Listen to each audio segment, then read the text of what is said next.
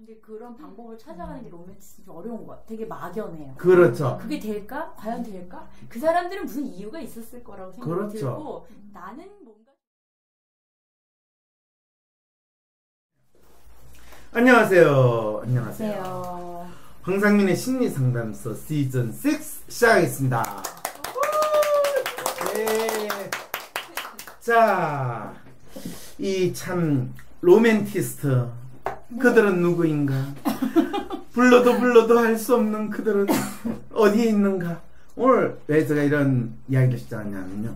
사실은 어, 내가 어떻게 살고 있나요? 저는 누군가요? 어떻게 살아야 하나? 이런 고민들 많은 분들이 사연을 보내주시는데 가장 많이 보내주시는 분들이 로맨티스트예요. 그리고 이분들은 자기가 어떤 사람이고 자기가 지금 어떻게 이 문제를 해결할 수 없어요 하고 하는 마음 많이 가지면서도 내 문제를 표현하고 누군가에게 이야기하는 것만 해도요 그분한테 상당히 많은 도움이 되고요 또 위안을 얻을 수 있어요 근데 그거 하는 것조차도 어 그래도 되나요 그래도 되나요 뭐 이런 마음으로 지내시는 분들도 또 로맨티스트거든요 네. 혹시 나오신 분 오늘 로맨티스트요? 네. 누구시요? 참생입니다. 참새 아 참새 로맨티스시군요 네. 그래서. 언젠가는 그냥 어때 마음이 동하면 막 말씀을 하시는데 마음이 동하지 않거나 그러면 그냥 네. 좀, 음 네. 이러고 지내시는군요. 그게 네. 로맨티스트 그래서 느낌 맞죠? 저는 똑같다고 생각하는데 네. 그게 보면 굉장히 일관성이 없을 것 같습니다. 네 괜찮아요. 그래도 여전히 참쌤으로 봐드릴 수 있습니다. 감사합니다. 네 옆에 계신 분 누구세요? 네, 저는 써니입니다. 써니 써니는 로맨티스트 아니시죠? 네, 저는 idealist인데 네. 로맨 성향도 약간 있어요. 아. 그래서 더 공감이 돼요. 아 그래요? 네. 아이디어 성향이요 상황이 안 좋으면요 네네. 예, 로맨 성향이 아. 막 발휘가 돼요. 그런 것 같아요. 자, 그건 그렇고 오늘 어떤 사연이죠? 네, 오늘은 로맨티스트 사연인데요. 어, 제목은 어떻게 하면 로맨티스트의 재능을 잘 사용하면서 살 수 있는지 궁금합니다. 안녕하세요, 황상민 교수님. 저는 교수님의 팬 삽질의 천재 강로맨입니다. 이런 말씀을. 대학교 4학년 취준생으로서 미래를 준비하는데 도움을 얻고자 글을 적게 되었습니다. 먼저 교수님께 감사 인사 올립니다. 교수님 덕분에 제가 진실로 어떤 사람인지 알게 되었고 매주 양질의 팟캐스트를 통해 자신을 돌아볼 수 있는 시간을 가질 수 있었습니다. 한마디로 제가 공감할 수 있는 영역을 꾸려주심에 감사합니다. 제가 교수님께 상담드리고 싶은 것은 어떻게 하면 삽질의 굴레를 벗어날 수 있는지, 어떻게 하면 로맨티스트의 재능을 살릴 수 있는지입니다. 6개월 전 저는 중국에서 교환학생 생활을 하고 있었습니다. 그때 우연히 팟캐스트를 듣게 되었고, 박사님의 존재를 알게 되었습니다. 처음 팟캐스트를 들을 때는 저는 제가 idealist인 줄 알았습니다. 왜냐하면 저는 항상 나만의 스타일을 추구했고 남들이 인정해주지 않아도 내가 좋으면 좋은 것이라고 주장해왔기 때문입니다. 그래서 로맨티스트라는 결과를 받았을 때 인정할 수 없었습니다. 하지만 꾸준히 팟캐스트를 들으며 그것이 제 안에 idealist를 존경하는 마음과 강한 self로 인해 생긴 착각임을 알게 되었고, 아, 나는 진정 로맨티스트구나 인정하게 되었습니다. 교수님, 그런데 자신을 인정했음에도 불구하고 해결되지 않은 어려움이 있습니다. 저는 여전히 삽질을 하고 있다는 것입니다. 이를테면 이런 것입니다. 먼저 어떤 것이 멋져 보입니다. 그리고 나도 그런 사람이 되어야지. 그 다음에 월별, 연도별 구체적인 계획을 세운다. 작심삼일 열심히 한다. 사일째 되는 날 갑자기 힘들다. 꾸준히 해야 한다 하면서 자기를 꾸짖는, 꾸짖는다. 그러면서 더 망가진다. 폭식을 한다. 나락으로 떨어질 때쯤 정신을 차린다. 멋져 보이는 사람들을 보거나 강연을 듣는다. 나도 저런 사람이 되어야지. 라는 무한 굴레입니다. 자기 연민과 학대 코스프레. 이것이 다 제가 먹고 살만하다는 증거겠죠? 그런데 또 여기서 우스운 것이 하나 있습니다. 목표니 계획이니 힘을 주지 않고 하고 싶어서 하면 즐겁게 잘한다는 것입니다. 문제는 그 하고 싶은 일들이 되게 대가가 없는 일이라는 것입니다. 저는 돈도 많이 벌고 싶고 있어 보이게 살고 싶은데 이상하게 그런 일을 맡으면 잘하고 싶은 마음 때문에 긴장해서일까? 그 과정에서도 많이 힘들어하고 결과도 썩 좋지 않습니다. 그래서 돈에 연연하지 말고 편안한 마음으로 해야지 다짐도 해봤지만 다짐은 다짐일 뿐 또 긴장하고 잘못하기 일쑤입니다. 어떻게 하면 좋을까요? 그리고 여기서 또 다른 저의 의문은 로맨티스트는 꼼꼼하다고 하는데 왜 저는 꼼꼼해지면 긴장해지는 걸까요? 여기서 꼼꼼해진다는 것은 계획을 세우는 것입니다. 물론 같은 로맨티스트라고 해도 사람마다 다르니 그럴 수는 있지만 전 로맨티스트의 강점을 잘 활용하고 싶거든요. 그리고 돈에 연연하면서 잘할 수 있는 방법은 없을까요? 마음먹기 달려있다고 하는데 저는 마음만 먹으면 힘듭니다. 그런 저는 어떻게 해야 하는 걸까요? 어떻게 하면 이 반복되는 굴레에서 벗어나거나 아님 이 속에서도 생, 잘 생존할 수 있을까요? 두 번째 질문은 로맨티스트는 타인에게 감성이 공유되고 공감받을 때 존재감을 느낀다고 말씀하셨는데 이것을 직업적으로 어떻게 엮을 수 있는지 질문드립니다. 저는 꿈은 문화 콘텐츠 기획자입니다. 제가 생각하는 문화 콘텐츠 기획자는 이 시대에 필요한 목소리를 내고 있는 존재를 찾아 그 사람을 소재로 책이나 다큐멘터리라는 콘텐츠로 만들어 꼭 필요한 메시지를 전달하는 일입니다. 꾸준히 일기를 쓰며 제가 어떤 멋진 것을 소개하는 일을 좋아한다는 것을 알게 되었고 문화 콘텐츠라는 전공과 엮어 이러한 방향 설계를 하였습니다. 실제로 콘텐츠 만드는 일을 꾸준히 하는 것을 모아 적성에 맞는 것 같습니다.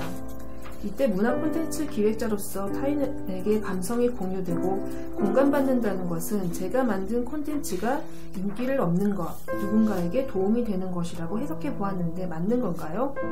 검증받고 확신을 얻고자 질문드립니다. 박사님의 소중한 답변 기다리겠습니다. 네, 아주 재미있는 사연이네요. 로맨으로서의 그 감수성도 느껴지고 상당히 로맨 성치고는 자기의 미래에 대해서 상당히 뭔가 더 열정적으로 찾아보고자 하는 그런 마음이 느껴져서 참 이쁘다는 생각도 막 드네요. 그런데 이 친구는 본인이 idealist 사람으로 보고, 보여지기를 원하는 거, idealist였으면 하는 마음을 강하게 가지고 있다는 거죠. 사실 이런 경우는 많은데요. 어, 로맨이 idealist를 동경하는 친구들은 본인이 뭔가 하고 싶은 일이 있고 또 그걸 남보다 잘하고 싶은 마음이 크면 클수록 idealist를 동경해요. 음, 그리고. 삽질을 계속해요. 네. 네. 아, 많이 하셨어요? ideal이 좀 나오지 않을까 기대를 처음에는 그래서 왜 아니지? 왜 아니지, 왜 아니지. 조금이라도 나와야 되는데 왜 안 나오지? 어, 처음에 로맨티스트인 걸 별로 인정하지 않아. 쉽지 않았던 거. 근데 지금 네. 생각하면 그 ideal들 되게 멋있어 보였던 거. 그렇죠, 그래서 그렇죠. 나도 멋있어 보이고 싶으니까 그렇죠. 왜 안 나올까? 그렇죠. 근데 진짜 로맨티스트가 가장 멋있어지는 것이 어떤 과정을 통해서 어떻게 되는지를 모르니까 음. 일단 자기가 막연히 생각하는 멋있는 사람 하면 idealist 어떤 구체적인 어떤 사람이 멋있어 보이고 자기는 어떻게 보면 소심해서 아니면 잘 못하는 건데 저 사람 막 지르고 그러니까 어 너무 멋있어. 어 내가 막연히 그래 이거는 아닌데 그렇다고 다른 뭔가를 뚜렷이 이야기할 수 있는 그 상황은 아닌데 저 사람 딱 이야기하니까 맞아 내가 이야기했던 그거야. 뭐 이 생각이 드니까 난 뭐야? 나는 왜 이렇게 칭찬해? 뭐 이제 자기를 이제 비하하는 뭐. 비하하는. 이게 이제 로맨 상황이니까 더 싫은 거야. 자 그건 그렇고요. 이 친구 본인의 삽질의 정체도 너무 잘 알아요. 로맨의 삽질을 원단으로 이렇게 충실하게 알려주신 거 고마워요. 정리가 너무 잘 된 것 같아요. 정리 너무 잘 됐어요. 이거 다시 한번 잘 보세요. 멋져 보이는 어떤 게 있어. 나도 그런 사람이 되어야지. 뭐 강연하는 거 TV 강연하고 이래서 성공했어요. 뭐 이런 거 보면 어 나도 저렇게 돼야지. 그래가지고 그래 저렇게 하기 위해서는 계획을 잘 세워야 돼. 면밀한 계획, 월, 별, 연도별 계획을 쫙 세워요. 그리고 이제 작심삼일 열심히 해요. 근데 4일째 될 때 힘들어. 어 너무 힘들어. 그래도 꾸준히 해야 돼. 너가 좀 더 인내심을 발휘해야 돼. 그래가지고 어떻게 할 수 있겠어? 어, 그래도 힘든데. 그래도 해야지. 그러면 본인 스트레스야. 그래, 아이스크림 먹고 해야지. 아이스크림 먹고. 그 다음에, 네. 아, 아니, 힘이 빠지는 건 아무래도 내가 고기가, 이 나무살이 좀 부족한, 남, 남살도 먹어. 아, 혼자서 먹으니까, 그래, 너무 우울해. 친구한테 어쩌나, 야, 같이 먹으면 안 될까? 뭐 이래가지고, 이제, 그래, 술도 한 잔 먹었어. 이제, 그럼, 그 다음날, 안 돼. 어, 역시 나는 안 돼. 그래, 어차피 안 될 거. 뭐 이러면서 이제 나락으로 떨어질 때 좀 정신 차려요. 그래서 다시 마약을 맞아야 돼. 아, 그래, 나는 이렇게 성공했어. 다시 봐. 그 성공 스토리, 오, 너무 멋있어. 나도 저래야 돼. 그래서 멋진 사람을 보거나 강연을 들어. 이놈의 강연, 이게 동기부여. 예, 동기부여라고 생겨서 온 동네에 너무 많아. TV 틀면 다 나와. 그래서 결국에는 그 강연 보다가 열받아가 안 되니까 이제 뭐 맛집 탐방하는 거 그거 보거나 아니면 요리하는 거 보면서 이제 내 스트레스 쌓이는 거를 그렇게 또 해소를 해. 에이구, 이런 사람 되어야지, 저런 사람 되어야지. 무한 굴레를 반복하는 거. 자기 연민과 학대 코스프레. 야 이렇게 솔직하게 이야기해 주니까 제가 너무, 너무, 너무 고민을 한 것, 같아. 고민을 제대로 한 분인 것 같아요. 그렇죠. 왜냐면 막 힘들어만 한다고 이거를 알 수 있는 건 아니고 맞아요. 그리고 더 재미있는 건요. 이 친구가 자기 문제에 대해서 나름대로 답도 이 사연에 다 넣었다는 거 아세요? 네. 네. 어떤 게 답인지 아세요? 뭐 그냥 즐겁게 하면 힘을 주지 않고 즐겁게 하면 잘한다. 그렇죠. 그 말은 목표나 계획 같은 거 그런 거 세우지 말고요. 네. 처음부터 나 이거 해야지 하면 긴장하지 말고요. 네. 그냥 자기가 아무 생각 없이 참여하고 아무 생각 없이 하면서 즐겁게 하면 그리고 그걸 웬만큼 익숙할 때면 잘해요. 네. 그 말은 로맨이 기본적으로 재능이 있다는 거예요. 그걸 몰랐어요. 아, 저는 로맨들 보면 너무 항상 처음에 엄청나게 잘하려고 그러는 왜 그러니? 처음 하면서 잘하는 건 그거는 미쳤거나 그거는 잘하는데 지금 못한다고 feinting motion이었거나 아니면 너가 기적을 바라는 거야. 그런데 그 기간을 어느 정도 가져야 되는지에 대해서 되게 많은 사람이 헷갈려하는데 저는 지가 잘한다는 걸 느끼려면요 최소한 한 2, 3년 넉넉 잡고 한 5년 정도는 해야지 지가 잘한다는 걸 느끼는데 사람들은 되게 한한 달, 뭐 3개월 많이 가봤자 6개월 안에 자기가 잘한다는 걸 확인받아야 된다고 믿어요. 계획을 세우는 거 계획 세우면 왜 그게 힘들어지고 긴장되고 또 본인 스스로 강박지게 되는가 이제 파악을 해요. 그러면서도요. 전 로맨티스의 강점을 잘 활용하고 싶거든요. 그리고 돈에 연연하면서 잘할 수 있는 방법은 없는 것일까요? 이렇게 이제 질문을 하는 거예요.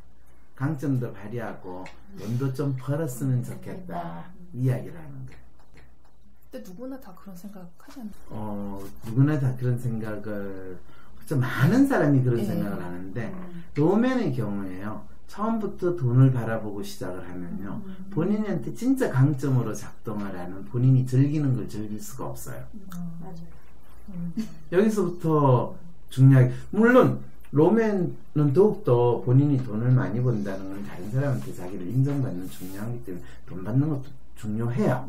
그렇지만은 로맨은 돈보다 더 중요한 게 있다라는 걸 잊지 말아야 되는 사람이 로맨이에요. idealist는 처음부터 잊고 시작하는 게 idealist고요.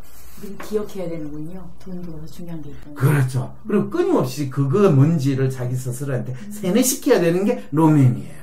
안 그러면 스스로 헷갈려 버리는 거죠. 내가 이 돈을 받자고 이 짓을 하나, 내가 돈도 못 받는데 이 짓을 왜 하나, 이제 이렇게 되면요. 그다음부터 확 더 못해요. 그랬을 때 마음 먹기에 달렸다고 하는데 저는 마음만 먹으면 힘이 듭니다. 자, 이 친구는 그럼 어떤 게 자기 로맨티스 강점이 살려야 되냐 하면요. 마음을 먹지 않고 그냥 재미로, 흥미로 그냥 자연스럽게 시작하고 그러면 거기서 이제 본인이 돈을 안 받으면요. 어떤 부분이냐면 본인이 크게 부담을 안 느껴도 돼요. 그런데 돈을 받으면 그 돈을 받은 값을 해야 되는 게 아니라 그 값은 자기는 100원 받았다고 생각하는데 돈을 준 사람은 100원 주고 만 원을 줬다고 생각하는 그 놀라운 이 이상한 거래의 심리 상태에 빠져든다는 것도 알아야 돼요. 로맨은 이 부분에 대해서 로맨은 만 원을 받고도 자기가 받은 거는 100원을 받았다고 생각하는 심리에 빠지고요. 그리고 그 로맨한테 돈을 주는 사람은 100원을 주고 만 원을 줬다고 하는 심리 상태에 빠지는 일이 항상 벌어져요. 이 대한민국의 대부분의 조직에서 일하는 로맨들이 가장 많이 겪는 심리적 갈등이죠.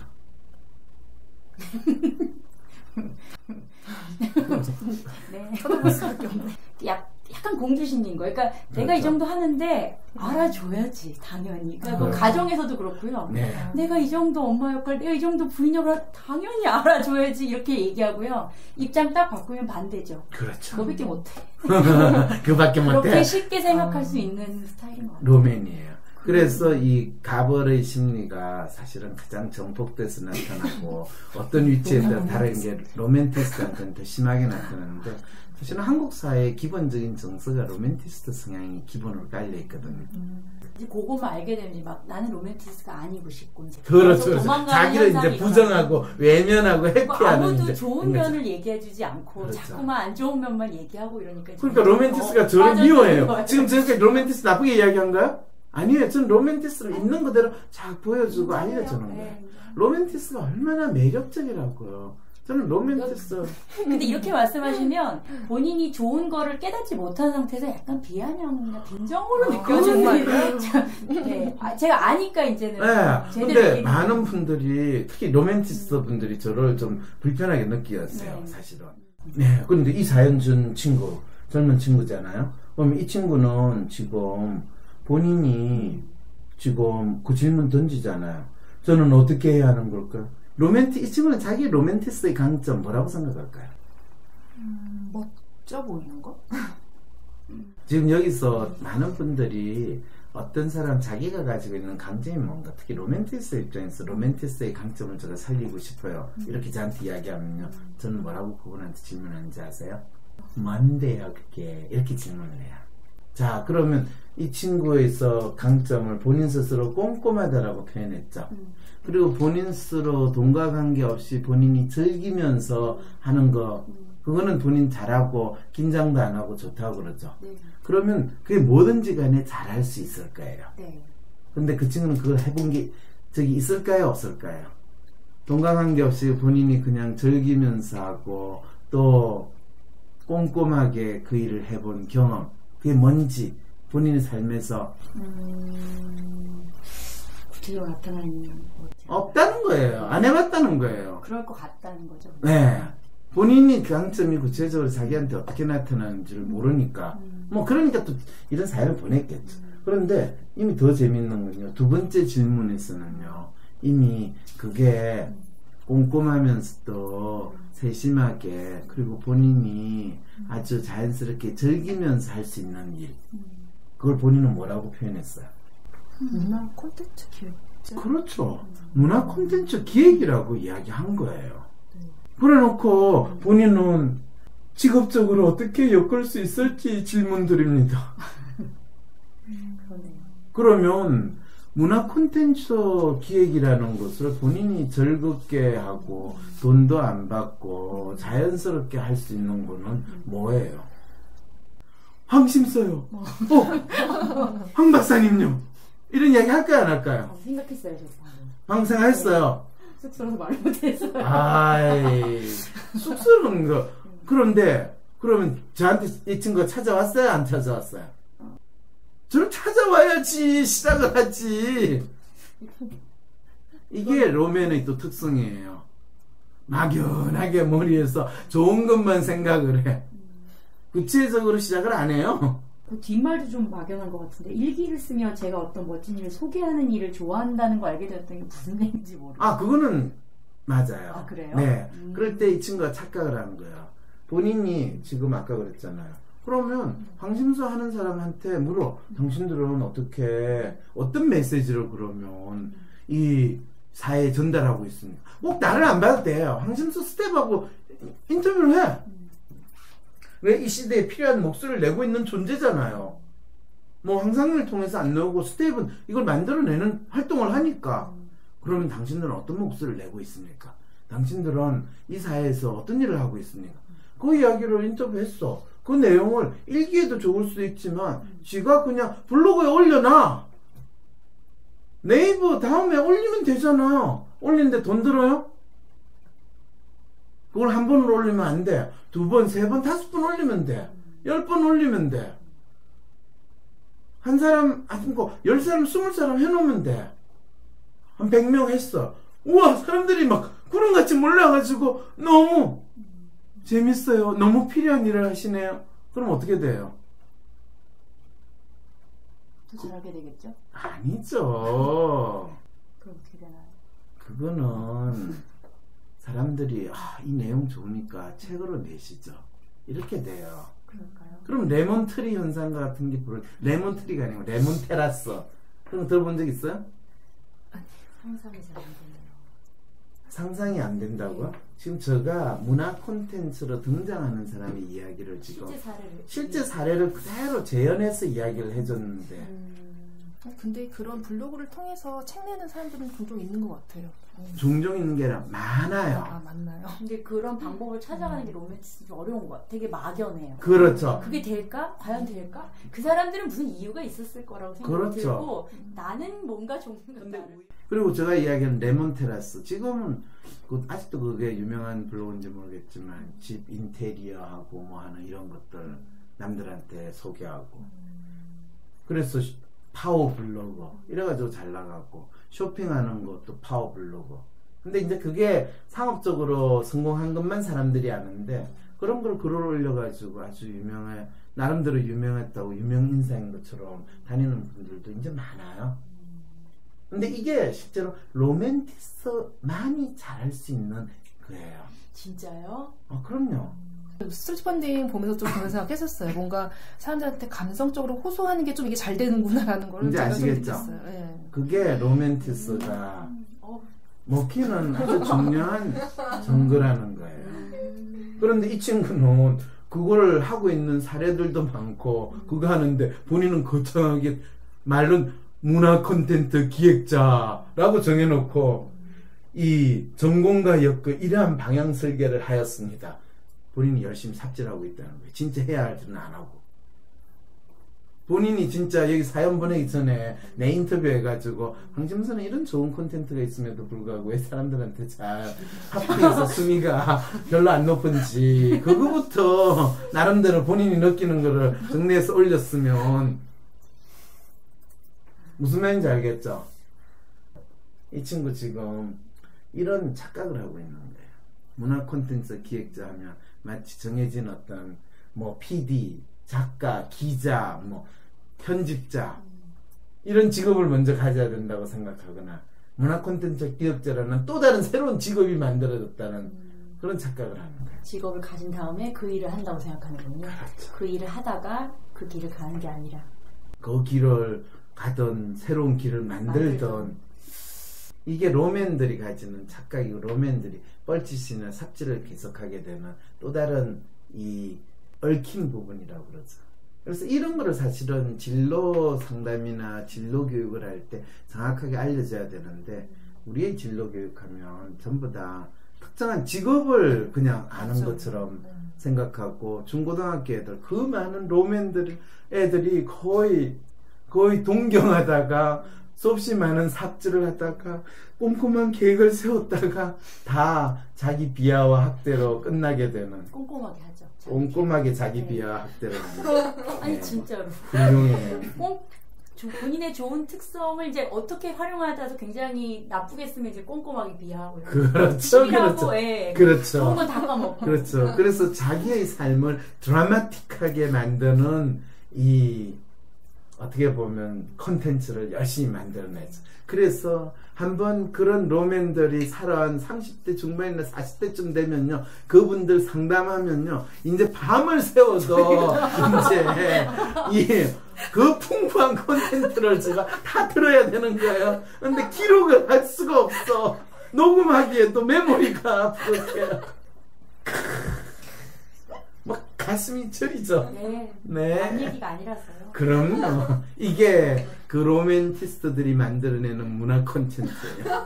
근데 그게 안타깝게 돈이 안 돼.